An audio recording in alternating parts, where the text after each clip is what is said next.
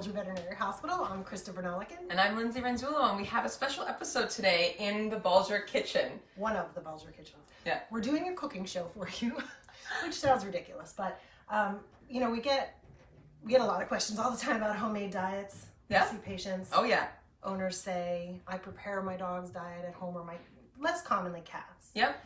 Um, and and what do you feel about those diets? When Well, I can understand why people are wanting to maybe cook more diets for themselves. There's a lot of stuff in the news about, you know, pet food recalls or I feel like now, especially now in in today's day and age, people are much more aware of what they're eating mm-hmm. um, and they want to make sure that they're eating, you know, healthy foods and that they're you're getting ingredients from, you know, local farms or they're just much more invested in their own food. So I can understand why people want to do the same for their pets because they like them Yeah, and, and they want to make them I like a couple of clients that their pets legitimately won't eat dry kibble, won't eat the food.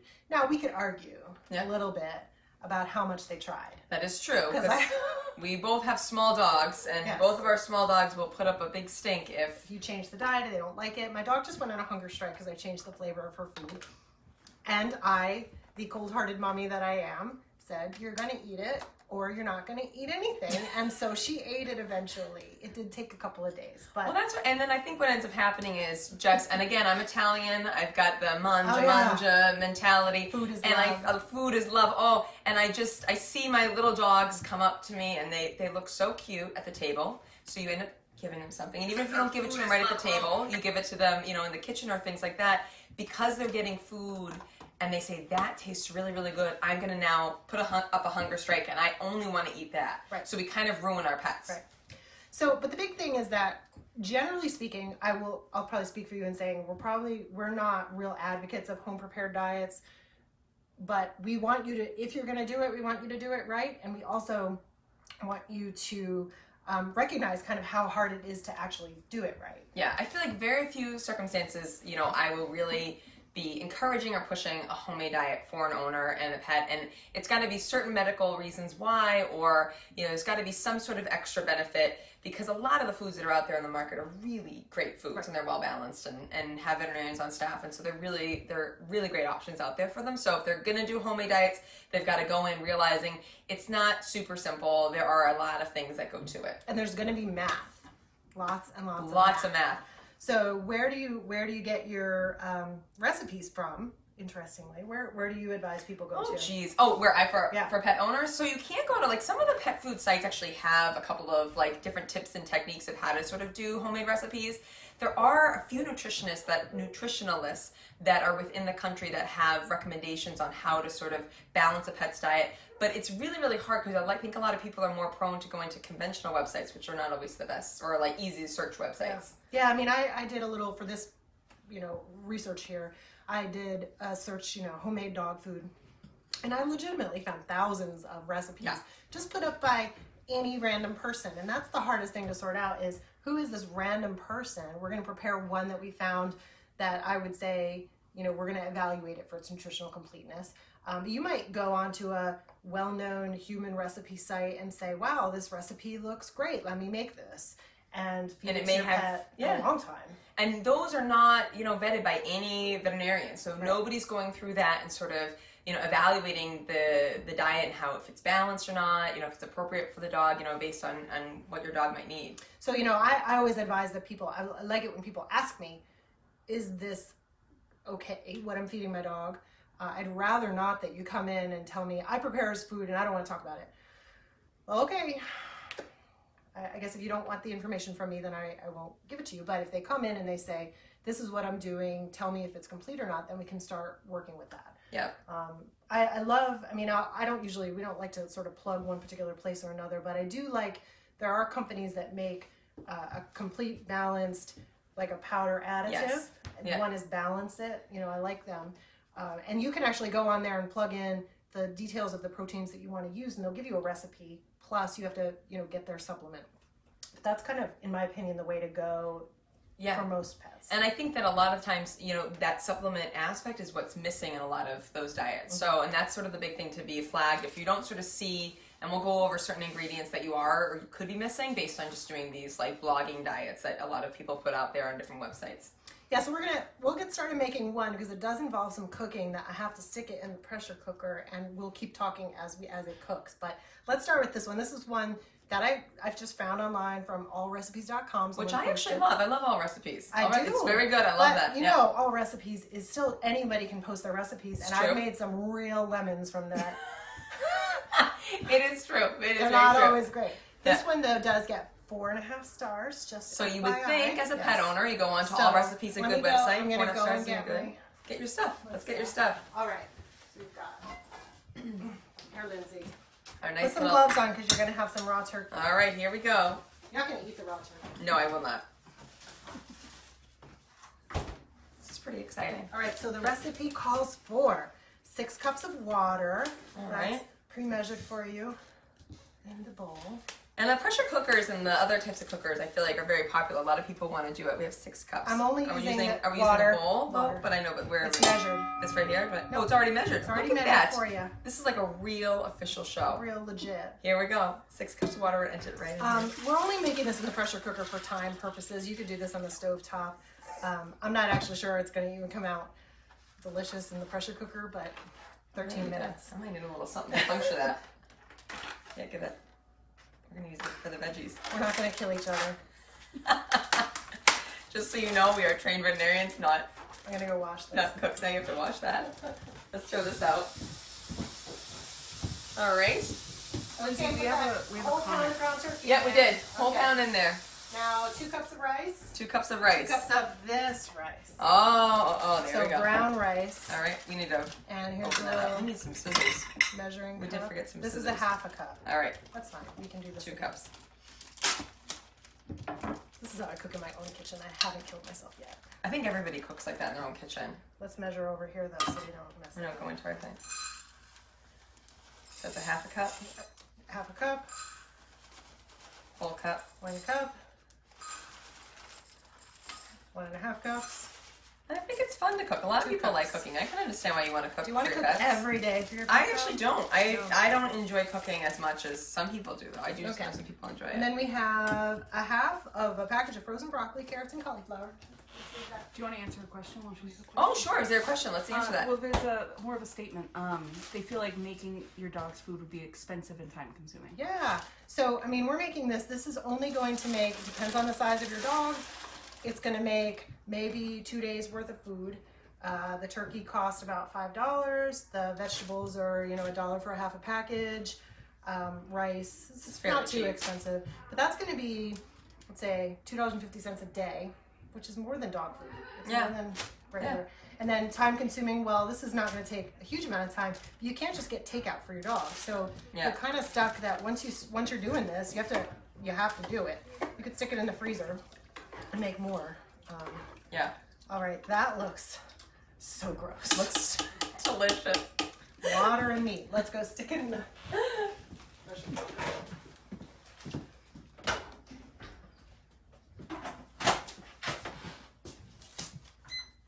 So, what do you think about this particular recipe?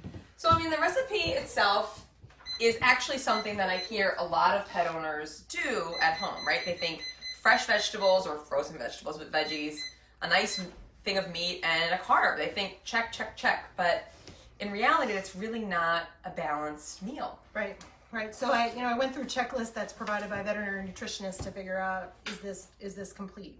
Um, do we have all the nutrient, all the macronutrients? So when we say not macronutrients, it's carbs, proteins, and fats. So we've got carbs for sure. do have carbs. We have proteins in the turkey. Yep. It's a. They didn't tell you what leanness. I picked ninety three percent because that's the most common. Yep. So there's some fat in there. It's not quite enough, truthfully, and dogs do need fat. So you can't follow human rules: low fat, low sodium, all of that. Those Right. diets doesn't translate to dogs. Right. So um, what this is lacking is any vitamins. You've got those veggies. Yep. There's not a complete.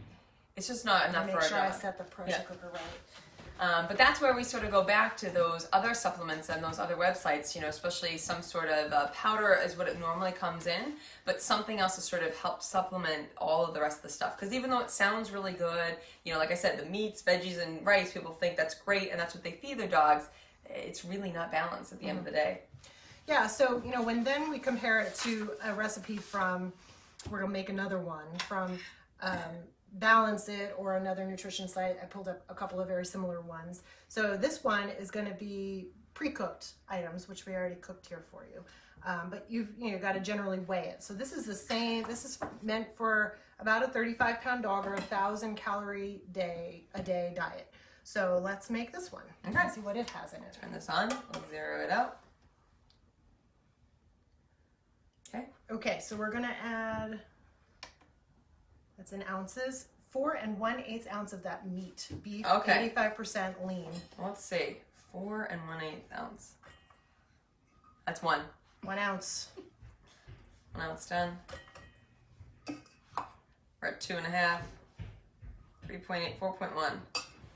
That's fine. That's fine. A little extra Yeah. little, a little bit extra. little extra. Okay. It's the And now, more is better.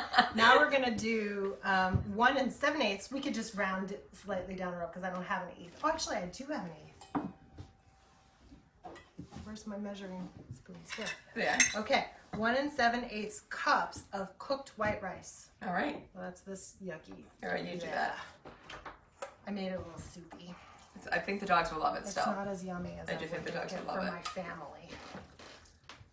We will not be wasting any of this food. We will, in fact, offer this to our hospitalized patients. No dogs will go hungry in our presence. I won't eat this though. One cup. Ooh. Do you enjoy cooking at home though regularly? I do. Yeah. I don't make food So that you- looks like this though. Yeah. And we should we should just we should just your, your kids don't like this. They would not eat this rice. Just meat and, and sloppy rice. sloppy.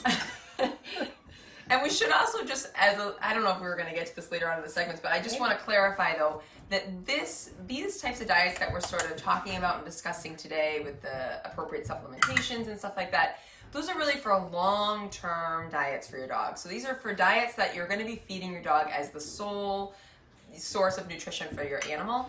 We very often will have cases of gastroenteritis or other reasons why dogs maybe need a more a blandish type of diet.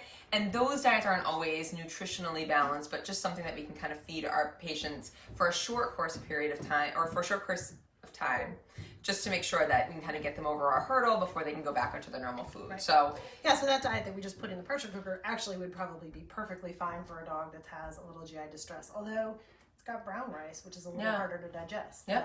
You know, that kind of a diet would be fine. Yep. Um, all right, so we've got our rice and our beef, and now the critical, a, a critical ingredient that wasn't added to the other diet is oil. So we've got soybean. This one happens to be soybean oil. Um, our recipe calls for soybean soybean oil, but you could do other types of oils. You just would want to not substitute without checking with someone because substitutions matter. yeah. So five teaspoons. Is it teaspoons or tablespoons? That's a tablespoon. Oh, so hang how on. many oh I thought it said tablespoons. I'm sorry, I misread. I But misread. we could. Oh, we could use that. I actually don't know how many teaspoons in a tablespoon. Three. Three. All right. Well, Really? there you go. You don't know that? No, I don't like to cook as too much. bad. Remember, All right. I like the des- That's Yeah, um, now we'll go and switch. to Okay. Three teaspoons I'll put that in. Try to keep it as clean as we can. This is a faux kitchen. faux kitchen. Right Well, I here. just added a little extra. That's There you go. It's okay. Italian. A little extra oil. All go. right. So now we've got our oil. Now we're gonna add. Do you want to cut these up, or you want Yeah, I to sure them up? do. We didn't bring a cutting board, so we're just gonna try very carefully not to. We're gonna to chop the these up. Now you can put them in the blender. You could actually put the whole thing in the blender. Some recipes, in fact, this one suggests putting it in the blender so your animal can't just like pick out the things that they like and kind of skip the carrots, for example. Which happens. I do think that I'm often surprised at how many dogs will actually eat veggies. Uh, my dogs never like veggies. I feel like the veggies are really good. The carrots and stuff, they're sweet, Yeah. they're crunchy. Dogs tend to like them. Yeah. Um, broccoli, I feel like can be a harder sell rough one. sometimes. Yeah. Um, it has more of a of an acquired taste. Cruciferous vegetable. Mm, mm, that's a good word. Yeah. My kids love broccoli though. Yeah, my kids do too. Love broccoli. How how chopped do you want it? I don't know. Finely That's chopped. probably fine All right. for our purposes. There we go. We should have brought the dogs in from last week and done a taste testing. Oh my goodness. All the genetic testing dogs we should have done. eat it all up. Okay, so now we've got our stuff mixed in, and now to make this complete, you need you need your minerals. So you need vitamins and minerals. Um, this, of course, is from the Balance It site, so they're suggesting their own supplement, and you just add what they suggest, which is you know, two, uh, three and three quarter teaspoons of balance it. Nutrition nutritionists will also say, well, vitamins are okay, so a daily multivitamin daily per dog, one, and then calcium. So this we would need to add a little bit of calcium because the daily multivitamins don't contain a full regimen. So one multivitamin, one calcium, and we gotta grind that up. There we go. Oh, you're gonna make up. me Oh, do I'm it? Make you do it. Oh dear. There I you hate go. the mortar and pestle. Oh, it's a hard one. Oh, no, it wasn't that bad. All right. But you do have to be careful too, because I mean, if your dogs end up loving this stuff, if they do eat a whole bottle Oh, of boy. calcium, that's a big problem. Or even if they, even if you supplement it inappropriately, if you thought that maybe they really needed it, um, a lot of times people when they have uh, pregnant um, or nursing dogs, they might think that they need to get more extra supplements. They're kind of over supplementing these dogs, um, and it can be a big problem. And almost all of these calcium supplements have a lot of vitamin D in them, and that Yeah. can be toxic too. This is lower, so this one will be okay. But um, vitamin D is toxic to dogs in large quantities too. Yep, So now we made up this. I can't get the beef mixed in. it's fine. That looks really good. That looks. If I was a border terrier. I would definitely just dive right in. Okay, so let's, you know, we'll show it a little Oh, here yeah. So we can see. So this is the daily amount. This amount is what a 35 pound dog would eat for a day. Like Yeah. that seems, I think that's more than most people would have guessed. Yeah, And I agree. like what is, you know, cost wise, that's going to be fairly expensive. Yep. This is more than they were suggesting on the other ration Yep. that we were saying. Um, but that's that's a thousand calories, and that's what a, about a 35 to a 50 pound dog eats, depending upon its its uh, activity level. Yeah. And I do think it's pretty palatable. I think that's uh, one thing that people Yeah, really want is that you know they they think that maybe their dogs are going to get bored with the type of food that they're on, or that they want to kind of give them something fresh and stuff. And it's not wrong ever to give like fresh veggies and things like that, but you know, as far as making sure you, that whatever you're making at home, you're feeding as a balanced diet, you do have to be really you know cautious about you know how you're supplementing them. And that's what's so easy and great about the prepared dog foods Right. is that they're all done for you. Right. And that's, you know, I don't even necessarily advise people just go off the shelf and buy any old vitamin supplement. Like I sat there for about an, you know, half an hour staring at these and making sure that they were not containing anything that would be toxic to a dog because there's a lot of things that our recommended daily allowance is different from what a dog would be. Right. Right. So, um, I think that our pressure cooker is going to take way longer than this podcast is. so, I think what I would just say with regard to that is that amount that we made in there came out to about um, 2000 it's 2000 calories Yep. worth of food so about half of that would be the same calorie content as this Yep. um, but you know again you're reading this this recipe and it says i'm just i have made dog food ever since my dogs were puppies four years now so how do you feel about that Well, you know, I mean, if you've been feeding your dog a non-balanced diet for four years, it's not the best thing. I mean, of course, we can get dogs obviously to live that long on this diet, and it's Four working years for her. right, but it's- it's not that long, it's and a third of the pet's life and you know, there could be some health problems that can occur as time goes on if you're continue to do that. Yeah, so like chronic calcium deficiency can cause um, these severe bone issues where the dogs actually absorb their own bones to make up additional calcium in their bodies. So Yeah. that's, that's something that happens over time. Um, they're very healthy and have never had any problems. You know how I feel about the statement. They have Right. never. I've never had a problem with that. Right. You could drive for 20 years with no seatbelt on, but Right. it only takes one, you know, fatal accident. Um, so not ever having had a problem doesn't necessarily mean that it's it's okay. It just means you, you may have been lucky. Um, and then you know my dogs are large breeds, so they get two cups in the morning and PM, so four cups a day. So that might might I, we could measure this. But this is probably. You think that's six cups? No, not even, I don't think. You don't think? No. So four cups. Yeah.